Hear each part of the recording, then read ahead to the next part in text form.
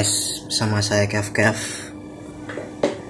Dan kali ini kita masuk ke Atomica Premium nomor 11 Skyline GTR V-Spec Nur.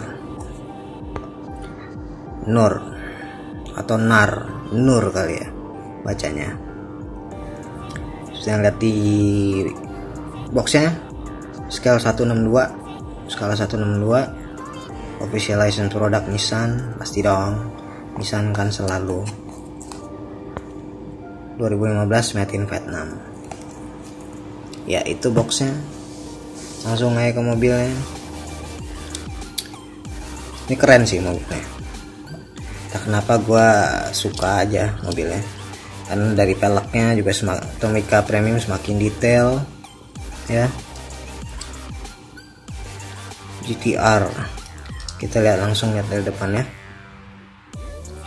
ini grillnya ada logo GTR di depan headlight ada spoiler juga ada dibedain tuh spoilernya. Di sini hitam di sini biru ya spoilernya. Dan spoiler di bawahnya ini nih gabung dari base. Jadi nggak nyatu sama uh, castingnya ya. Samping juga ada uh, lampu sen lihat nih lampu sen ada stiker ada stikernya gue tapi nggak kelihatan. Stikernya apa? Ini bagian belakang. Kelihatan nggak? Sorry gue zoom dulu biar asik.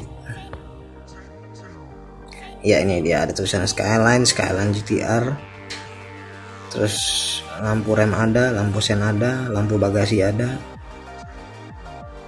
di samping sini juga ada tulisan V-Spec 2 Nur Nur.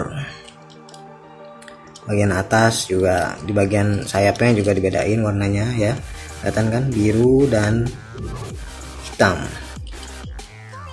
Ini mantap sih dan yang lebih penting lagi pintunya bisa dibuka. Nah ini yang paling keren kalau misalnya Tomica Premium kayak gini semua pasti lebih detail lagi bagus. Gitu. Dan kalau kalau bisa dilihat di sini di sini ada perbedaan warna ya. Kelihatan kan? Di sini ada celah nih. Nih. Tuh hitam dan biru. Kelihatan ya? Hitam dan biru. Di sini hitam di sini biru gitu. Tapi ini satu casting. Tuh nggak terpisah. Lihat nggak terpisah? Interior warna hitam full black. Pintu kanan kiri bisa dibuka. Mantap. Di atas uh, ininya ada lubangnya. Ya. Peleknya juga kelihatan uh, mantap ya. Oke, ini yang gue maksud gitu. Yang gue maksud yang kemarin. Lamborghini itu paling enggak ada bayangan bukan bayangan cat hitam kayak gininya. Jadi dia lebih real gitu. Nggak kelihatan kayak pelek plastik. Kalau ini kayak lebih real kan? Kayak besi kan? Apalagi warnanya silver kayak gini. Warna metal. Menurut gua sih ini oke. Okay. karena Nissan Skyline modifikasi. Ya kalau aku dulu nomor satu tapi itu kurang suka gua. Karena aneh. Oke okay, guys. Sekian dulu review dari gua. Please subscribe like comment. Thank you for watching